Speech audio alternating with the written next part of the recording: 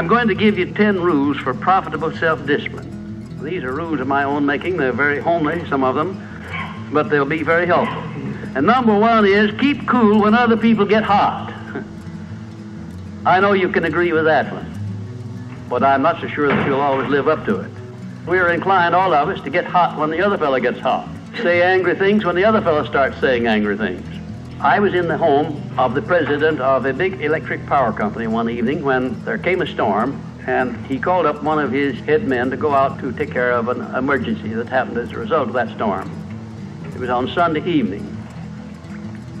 The man was gone about two hours, and when he came back, he came up on the front porch of the home of this man and called him out on the porch, and I never heard a man get such a tongue lashing in all my life as this president of the electric power company gets.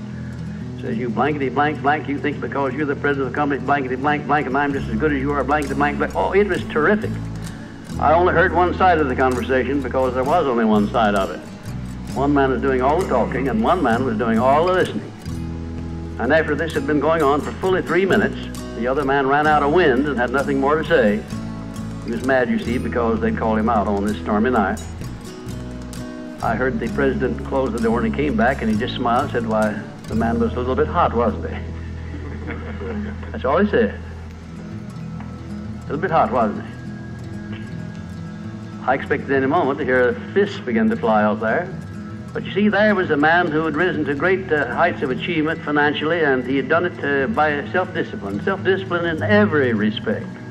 And he didn't propose to allow a workman who had been temporarily unbalanced by his anger to throw him off balance and make him stoop to that level. He just didn't propose to have that done.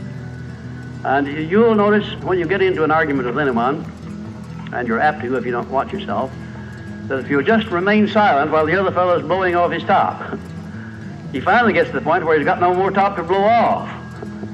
Then, if you want to get in a few words of your own, that's a mighty good place to do it. It's a mighty fine thing if the words that you get in are not the kind of the words you've been hearing. In other words, if you say something back kind in return, it's far better for the other fellow and far better for you. It shows you to be the bigger of the two persons. Now, anybody can get mad and blow his top because of what somebody does or says, and that's happening all the time. But the truly big man, the man who is in charge of himself, he doesn't allow anybody to draw him down to that level of a street brawl or of an argument in harsh words unless he wants to do it. And if he's truly a big man, he doesn't want to do it. Number two, remember there are three sides to all arguments. We ordinarily think there are two sides to all arguments, but they're not. They're three. There's your side, there's the other fellow's side, and then there's the right side, which is usually about in the middle of the two viewpoints. Remember that when you get into an argument with the other fellow. Don't assume that he's always at fault. Maybe you're partly at fault too. Maybe neither one is totally at fault. The chances are, in all of the arguments I've ever heard, both parties were partly to blame in one way or another.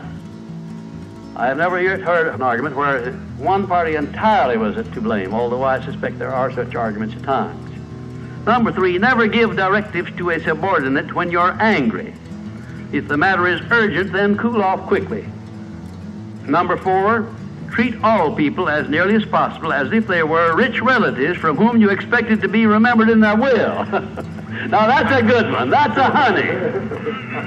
that is a honey. If you just do that, treat all people as if they were uh, rich relatives from whom you expected to inherit something at their death. And you can do that. You know, if you had a rich relative that had a million dollars he was going to leave to you, or you suspected he was going to, it wouldn't make very much difference what he said or did. He would never throw you off balance. You'd never talk back to him, would you? Of course you wouldn't. You'd be quite silly if you did. Keeping quiet for a million dollars seems to me to be a very easy price to pay. Number five, look for the seed of an equivalent benefit in every unpleasant circumstance with which you meet, no matter what the unpleasant circumstance is. Make it a point to discipline yourself so that you look for that seed of an equivalent benefit and you start looking in connection with the circumstance. Don't wait a week or two uh, till you've all worked yourself up about it. Start right in where you stand. It'll lessen the blow, it'll lessen the hurt of the wound, whatever it happens to be, if you start looking for that seed of an equivalent benefit. And number six, learn the almost forgotten art of asking questions and then listening to the answers instead of getting the other fellow told off. It gives you an awful lot of satisfaction when you're angry to get the other fellow told, doesn't it? And the temptation is very great to do that. I know, because I've been there many times. Don't do it. Be bigger than that. Listen to what the other fellow has to say. And then when somebody makes a statement that you're not sure about, learn to ask this one question. It's one of the most important questions in life. It'll serve more purposes than any other short question that I can think of. When somebody makes a statement that you're not sure about, or that you doubt, or that you question, ask a four word question How do you know? And then wait for an answer and see him squirm. Oftentimes there is no answer. People make wild statements that they can't back up. And instead of getting into an argument and making an incident out of the matter and getting yourself worked up into an argument, let the other fellow stew in his own fat by putting him over the barrel. But that question, how do you know? I had a clergyman in my class once who was very, well, I just don't know exactly how to describe him. He was a, a fanatic, you might say, on the subject of religion. And he was sure that he knew exactly what was going to happen to me after death. Said so in no uncertain terms, not in the class, but in a private conversation. He raved and ranted for quite a little while about it. And when he got through, I said, How do you know, Parson? That really put him over the barrel.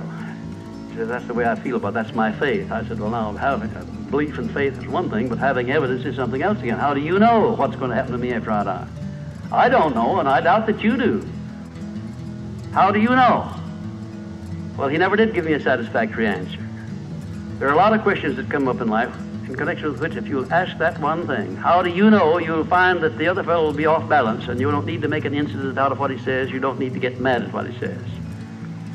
Seven, never say or do anything which may influence another person without first asking yourself this question Will it benefit him or hurt him? And if it will hurt him, don't do it. Don't say anything or do anything that would hurt another person under any circumstances, no matter how much he may deserve it. Exercise self discipline. Don't do that because if you hurt another man, you're going to hurt yourself ten times as much at least. Because that hurt will come back on you. I don't care who you are nor what circumstances you're working under or living under. If you hurt another person, you will be hurt ten times as much.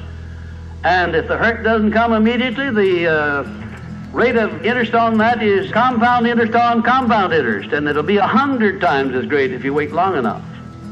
Because everything that you do to or for another person, you do to or for yourself. There is no escape from that. That's just as much a law as the law of gravitation, which everyone understands. You know that if you stepped over the top of this building, no matter what your mind uh, was or what your belief happened to be, if you stepped over the top of this building and violated the law of gravitation, that you'd hit the ground and you'd die in a very few seconds.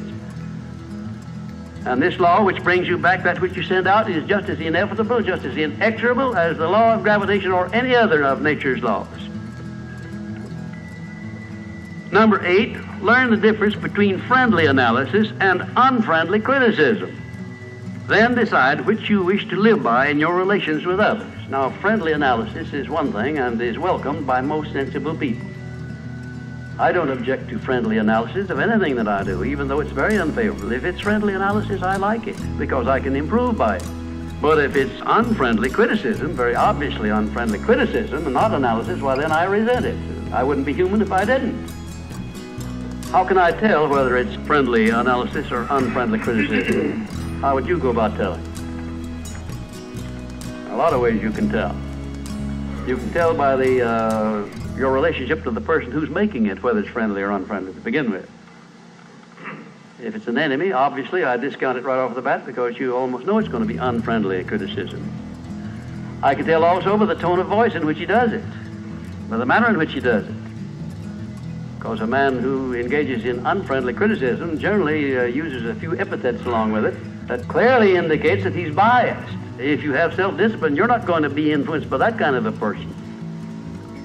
And number nine, remember that a good leader in any calling is one who can take orders as cheerfully as he gives them. And number 10, last but not least, remember that tolerance in human relations is just as important as tolerance in the operation of mechanics.